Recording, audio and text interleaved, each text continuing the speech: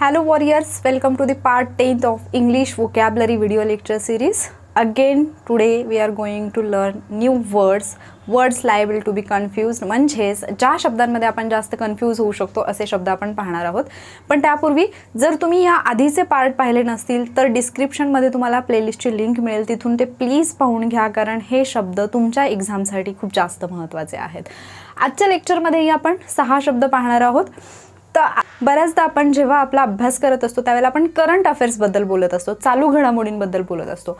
पण current अफेअर्समध्ये current नक्की कोणता येतो? C U R R A N T or C U R R E N T करंटचं जे spelling आपण वापरत असतो आपल्या करंटच्या अभ्यासामध्ये ते असतं C U R R E N T पण इथेच जर तुम्ही C U R R A N T असं म्हणजे जर चुकून समजा कोणाकडून मिस्टेक झाली तर त्याचा अर्थ कम्प्लिटली वेगळा होतो. मग काय होतो? अर्थ ते आपण पाहूयात.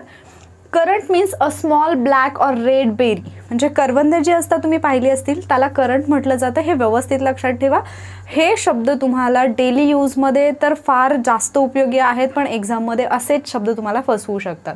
मग करंट म्हटलं की a small black or red berry म्हणजेच करवंदे.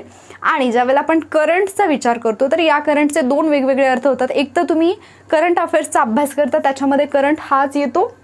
म्हणजे चालू स्थिती बिलॉंगिंग टू द प्रेझेंट पण आपण ज्यावेळेला लाईटचा करंट म्हणतो किंवा पाण्याचा करंट म्हणतो तर त्याचा अर्थ तिथे प्रवाह असा सुद्धा होतो. ठीक आहे? तर करंटचे दोन अर्थ होतात. एक तर चालू स्थिती आणि दुसरा म्हणजे प्रवाह. ठीक आहे? आणि इथे करंट म्हणजे करवंदे. त्यानंतर काही जणांना सवय असते डायरी लिहिण्याची.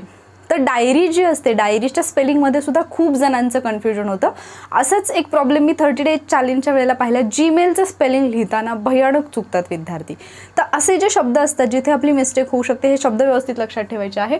डायरी जर म्हणायचं असेल तर D I A R Y ज्यावेळेला आपण डायरी हा शब्द असा म्हणतो त्यावेळेला त्याचा अर्थ होतो maintain day to day record म्हणजे रोजनिशी. जे आपण दैनंदिन लिहित असतो दैनंदिनीसुद्धा ज्याला म्हटलं जातं ते लिहिताना D I A R Y असं लिहिलं जातं.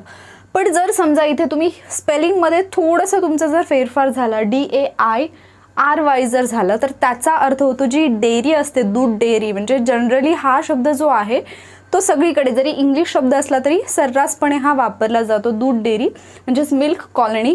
तर त्याचं जे स्पेलिंग आहे ते D A I R Y असं आहे डेअरी आणि डायरी याच्यामध्ये फरक आहे लक्षात घ्या ठीक आहे?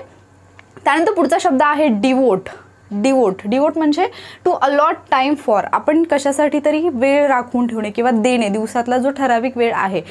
फॉर एक्झाम्पल तुम्ही डिवोट करत असाल स्टडीसाठी maybe four to five hours ठीक आहे? तर म्हणजे मी अभ्यासासाठी एवढा वेळ देतो. असं म्हणण्याऐवजी तुम्ही I devote four to five hours for study असं तुम्ही म्हणू शकता. ठीक आहे? किंवा daily I devote four to five hours for study to allot time for म्हणजे कामी लावणे किंवा वेळ देणे या कामासाठी तुम्ही तो वेळ दिलेला असतो. पण ज्यावेळेला आपण डिओट म्हणतो D E V O T E थोडासा डिफरन्स आहे स्पेलिंगमध्ये सो डिओट म्हणजे टू अलॉट टाईम फॉर जेव्हा आपण डिओट म्हणतो तेव्हा त्याचा अर्थ होतो पायस किंवा रायचस पायस किंवा रायचस म्हणजे भक्ती मार्गे किंवा आपण असं म्हणूयात की एखादा माणूस तत्वाला धरून चालणार असतो की याच गोष्टी मला करायच्या आहेत. तर अशा पद्धतीने जे लोक वागतात त्या त्याला आपण डिवोट असं म्हणतो. ठीक आहे? तर आजचे शब्द होते करंट करंट म्हणजे करवंद आणि ज्यावेळेला आपण ई टाकतो एच्या ऐवजी त्यावेळेला ते करंटचा अर्थ होतो चालू स्थिती किंवा प्रवाह. डायरी डायरीचं स्पेलिंग आहे D I A R Y diary त्यानंतर डेअरीचं स्पेलिंग आहे D A I R Y ठीक आहे? थोडासा डिफरन्स आहे. डिवोट म्हणजे टाईम देणे वेळ देणे आणि डिवोट म्हणजे भक्तिमार्गे किंवा एखाद्याची जी तत्व असतात त्या तत्वाच्या मार्गाने चालणे. ठीक आहे? आय होप हे शब्द तुम्ही एन्जॉय करत असाल. हे सगळे शब्द तुम्ही वाक्यामध्ये वापरण्याचा प्रयत्न करा आणि कमेंट बॉक्समध्ये नक्की ते सेंटेन्सेस पाठवा.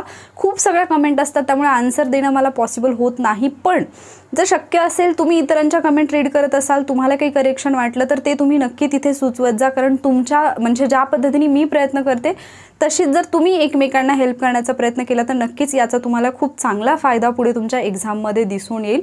त्यामुळे हे शब्द जे आहेत ते नक्की वाक्यामध्ये वापरा कारण मी नेहमी जसं सांगते जोपर्यंत तुम्ही हे इम्प्लिमेंट करत नाही तोपर्यंत तुम्हाला त्याचा फायदा होणार नाही. ठीक आहे? जर ही व्हिडिओ लेक्चर सिरीज तुम्ही एन्जॉय करत असाल याचा फायदा होतो असं वाटत असेल तर व्हिडिओला लाईक नक्की करा आणि हा जाता जाता जर तुम्ही अजूनही वॉरियर ऑफिसरला सबस्क्राईब केलं नसेल तर पटकन सबस्क्राईब करा कारण असे व्हिडिओज तुम्हाला रोज मिळणार आहेत. थँक्यू